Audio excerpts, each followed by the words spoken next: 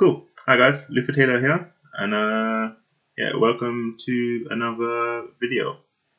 Um, this video I plan to be showing um, a color study from a game called Hellblade, Senua's Sacrifice. Um, the game deals with some uh, mental health issues, and um, primarily because of that, um, I'm quite interested in picking it up, uh, just to explore those themes and just to gain inspiration um, for when I would like to tackle some illustrations um, or stories uh, involving these themes. So yeah, um, this method of study is just one of many that I do. Um, typically speaking, with this one, this one took just under an, uh, no, just over an hour. Um, where basically I'm, I'm, I'm omitting certain details um, and just going for the color color relationships. Um, yeah, alright, that's enough of me rambling. Um, I shall start the video and I'll just talk you through the process.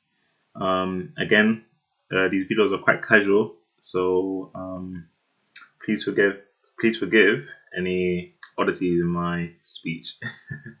alright.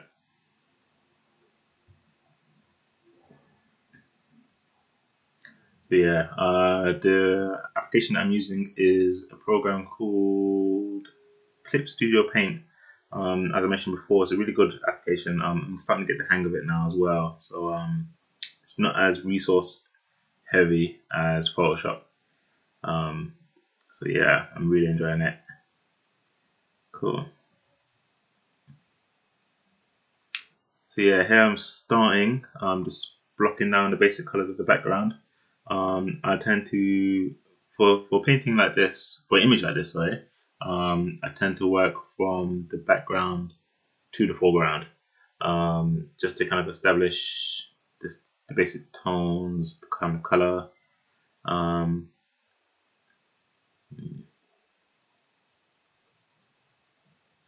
yeah, like when you're painting foliage, um, like trees, bushes, leaves, um, don't really tend to focus on doing the line work really. Tend to just want to just do an impression of of each tree. So yeah.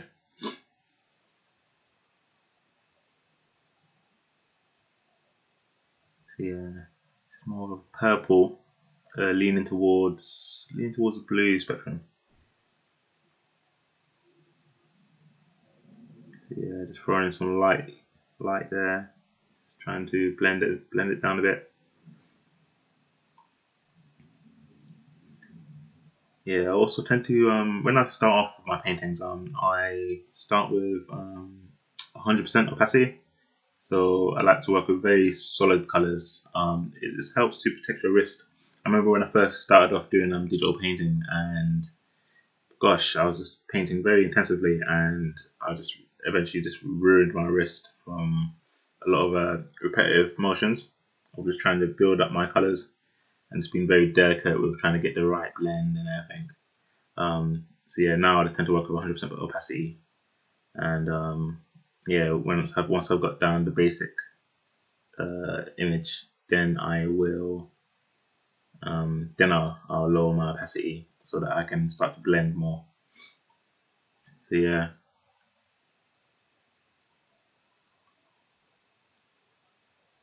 Right, let's jump ahead. Um, just a few seconds and see what else come up. Ba-ba. Yep. Still blocking in here. Here I'm starting to draw with shapes. Um, so rather than just focusing on the color, I'm now starting to kind of include certain elements that I'm seeing in there. Um, the this bit here um, there isn't really any greens in this image um, as what it may look. Oh, I'm not actually using um, I'm not actually going to the color green to give off the of green. With what I'm doing basically is um, yellow, depending on the value that you choose for it, it can give off a green appearance. So you have your two basic yellows. You have your um, uh, a warm and a cool yellow. So for traditional artists, um, you have lemon yellow, which is um, I would say that is a cool yellow, and then you have um, your cadmium yellow medium, which is more of a warm yellow. Um, yeah, both of them, when you drop them down in value, they will give off a green appearance. And if you know your color theory, um, yellow is the complementary color to purple. So, uh, yeah, just giving it off. Okay, let's jump ahead again. Okay, still blocking out more here. Blocking different shapes. I think I'm starting to refine certain areas. Pushing and pulling, pushing and pulling. That's literally all what digital what painting really is. It's pushing and pulling values and just recognizing colors really. Um, that's why I don't really tend to take my um, my paintings far anymore now because I know that I can just sit there and noodle away at um, these paintings to get a very um, photoreal finish, um, which is never the the goal that I set out when I do um, color studies. It used to. Um, when I first started doing digital painting, um, I would uh, try and do a very accurate rendering of the image that I was copying. Whereas over the years, I learned to um, basically just omit certain things that you don't care about um, when you're sitting down to do a study. Um, so, for example, if I want to do um, a, uh, if I want to, again, this is an example. If I want to do a color study, I'm just I'd literally just start blocking in with um, with color and just render out from there. It's kind of like sculpting. Um, you just break break out the shapes from from the big shapes to small shapes. Um, and yeah, if I want to do a detailed um, study, I'd probably just omit. For example, if I wanted to do a painting of Senua, I would um, just completely omit the background and um, I'll just focus directly on her. Um, so yeah, it's just it's all about um, just seg- segregating the things that you want to study, and um, you will improve rapidly um, if you do that. I believe. Okay, just skip ahead here. Let's have a sip of my coffee. Mm.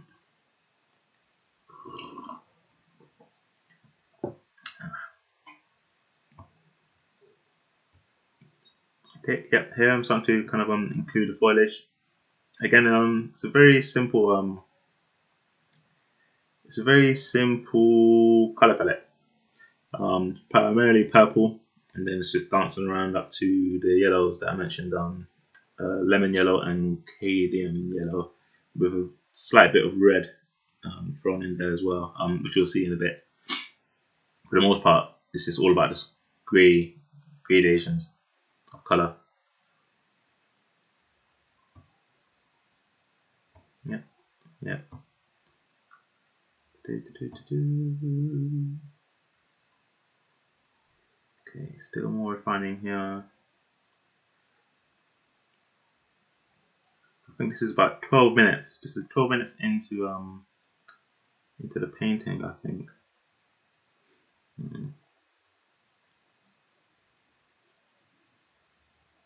So again, when you omit line art and you omit focusing on trying to make a very detailed painting, um, you just save a lot of time and you can smash out these paintings in, in no time.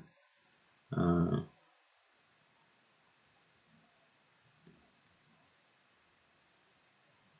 yeah.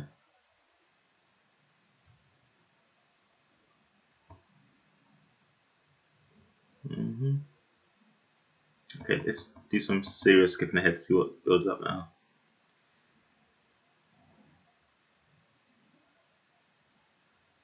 Mm -hmm. So now I'm starting to focus on um, the finer details. I think uh, the base, the base of the background is established.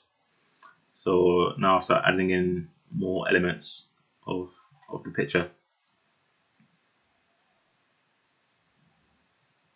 There's always a reoccurring theme I find in um video games. Anything dark, you've always got hanging hanging bodies in in forests. What, what games was that in? That was uh, Resident Evil 4. Um, Was it Last of Us? No, no, not Last of Us. Uh, what else? Witcher. Witcher. Yeah, great game. Uh, yeah, plenty, plenty of games. I think they're doing it in that new game as well. Um, that Last of Us ripoff. uh, Days Gone, I think it is. Anyway, let's carry on speeding up. I'm gonna jump ahead with um this skimmer here. So yeah, now I'm starting to put in the highlights. Mm -hmm. Yeah. I think yep, yeah. As you can see over here, um, I've reduced my opacity down now so that I can start blending um, the areas. Um, it just helps to kind of um, not having to keep on uh, selecting my colors with the color wheel down here. Um, I tend to do that when I'm starting off uh, the painting. I will, I'll, I'll, never color pick from um, from the actual reference image. Uh, it's okay doing that when you're starting off. Um, if you ever get stuck painting, um, just go to the image, color pick an area that you don't recognize, and um, just try and commit its memory of what's happening. Um, like I said, like I said before, um, this area here, like the greens, um, what you'll tend to find out is, uh, for example, if you were to actually select green, um, you'd probably get a too saturated green um, in the painting. It wouldn't it wouldn't work out so well. Whereas with yellow, when you darken yellow, like I said, like I mentioned before, um, it gives off a green appearance. So you, you learn things like that from from just doing color studies. Um, you learn certain grays, like grays have a different um, appearance. So, for example, red.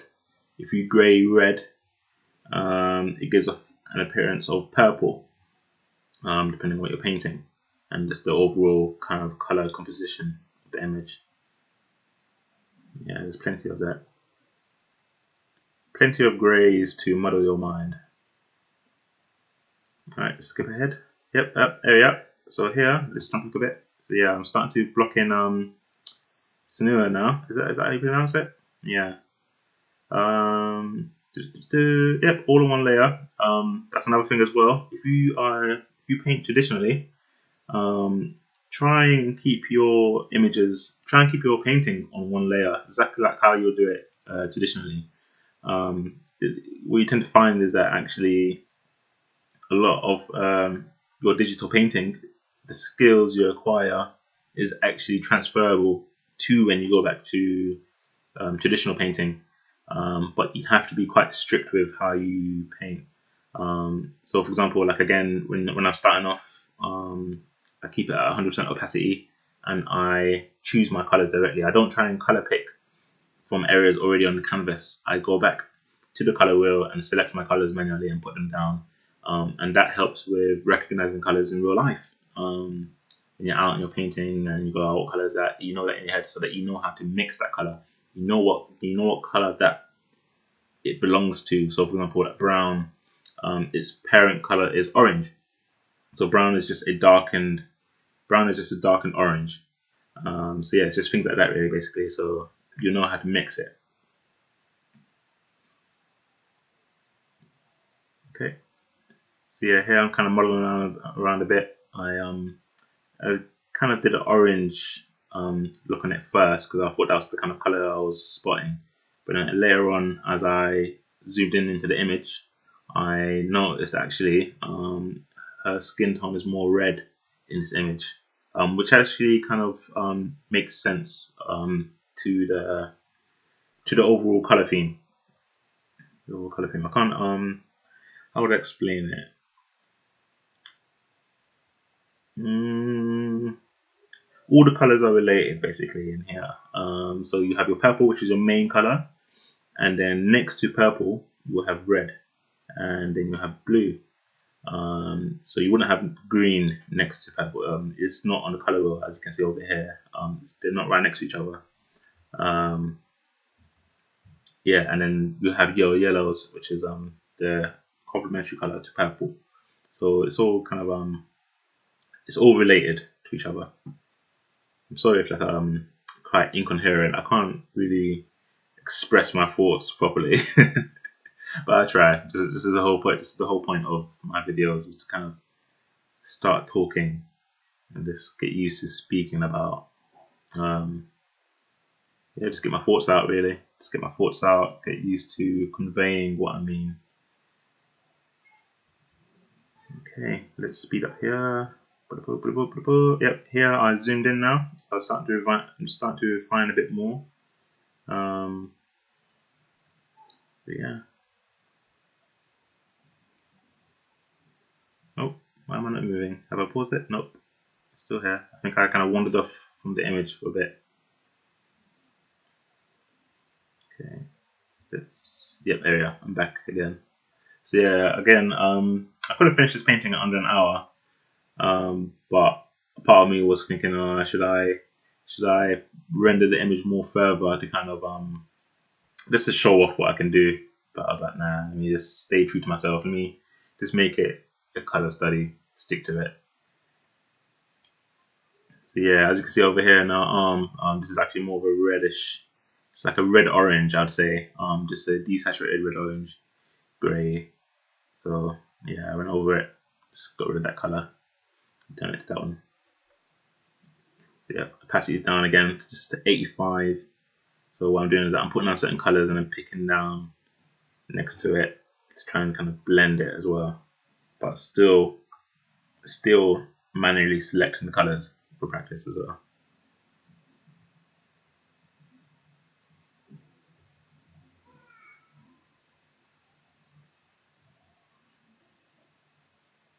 So yeah, when you um when you're painting, um, think of the think of base color. Um, so in the actual image here, you'll see um, there's a lot of gradation in color here. So it's, it's, mainly black hair on the back, and then you've got different shades of gray on each side of the, of torso. Um, and then over down here as well, it kind of gradates into like a brown brownish color here on a little um whatever the hell that is. Uh, it's kind of like got a bit of brownish kind of uh, olive green in there. Um, I will just I did um, do that. It's practically all black. Um, and then after that, then you can go in there and touch it up with um, with the subtle changes in color. Okay, let's speed up here. Okay, yep. It's doing our hair. Yep, more rendering her hair. And here's where I go into and um, refine back. Just adding in those subtle, those subtle changes. When you're doing these subtle changes, don't um try and keep the value the same because what you're seeing a lot of the time is a change in color but not a change in value um, so that's why sometimes what happens is that people will um, they'll paint they'll see a color they'll paint it but they've also changed the value and the, and it just jumps out too much um, so they haven't chosen the correct value when I say value I mean like the grayscale of um, each color uh, if we go over here to the color wheel, oh, this thing's blocking the way. Um, but basically speaking, um, each color kind of depending on which, um, no, let me say that again. Each color corresponds to a given value. So when people think of yellow, they think of a very bright, vibrant lemon yellow kind of color. And um, that is very high on value scale. Um, it's kind of coming up close to white. Um, and then when you think of blue, people think of blue as a cerulean blue, kind of, I wouldn't say a sky blue, because people will state that kind of blue as sky blue. But um, blue in general will be kind of like very low on the value scale. Um, so yeah. So yeah, when you're doing these kind of uh, transitions, keep the value the same, but do um, do the change in color. Alright, let's skip ahead. Yep, adding in the paddle. Adding in the reflections. Um, yeah, just painting in mass first. Paint, paint big, and then go small. Um, what I tend to do this, I tend to blur my vision. It's like if you're wearing um, really bad glasses and everything gets blurred. Um, it kind of omits a lot of finer details. You can do the same thing with squinting your eyes as well, but that's more for simplify, simplifying values. Um, to simplify color, I blur my vision. To simplify values, I squint.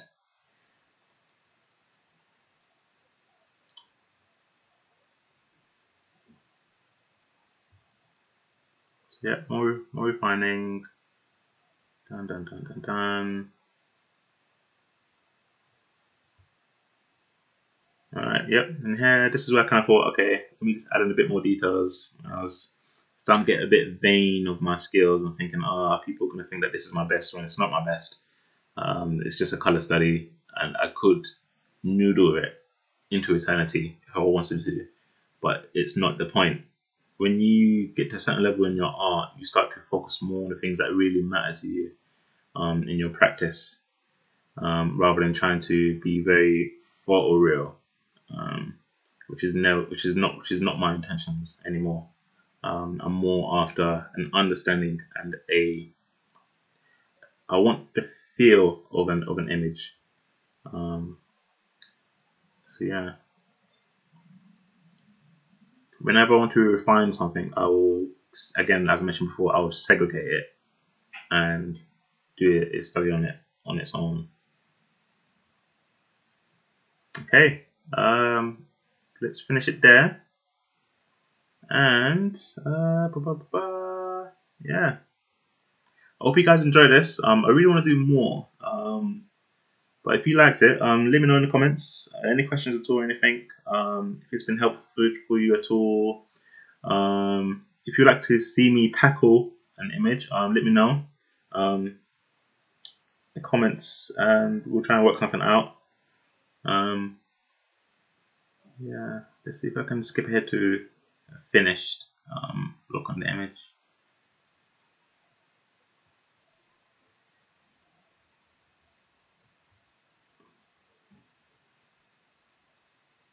Yeah, I think that's where I kind of left it. Oh, maybe that way, didn't I? Yeah. Yeah. Cool. So yeah, this is where I kind of left it. I was like, yeah, got what I wanted from it. Um, move on to the next one. And that's it. Hope you guys enjoyed it. Um, if you liked it, please subscribe, put a like, um, comment, in uh, leave a comment in the comment section. All of that, all of that. Take care.